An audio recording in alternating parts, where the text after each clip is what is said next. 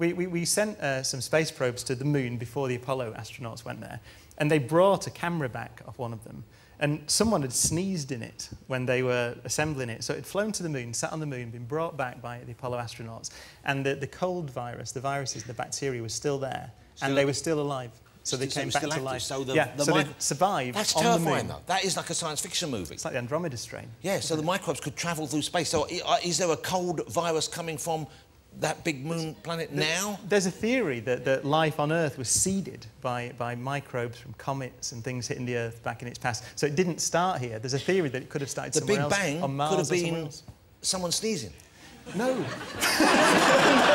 can't say you that. can't extrapolate There's from no what I just said to that. I can, and I will, You will. and if you sit around for much longer, you're going to hear more of this sort of bullshit. so you might as well just relax, loosen the belt, kick off those shoes, get ready to join in. God sneezed.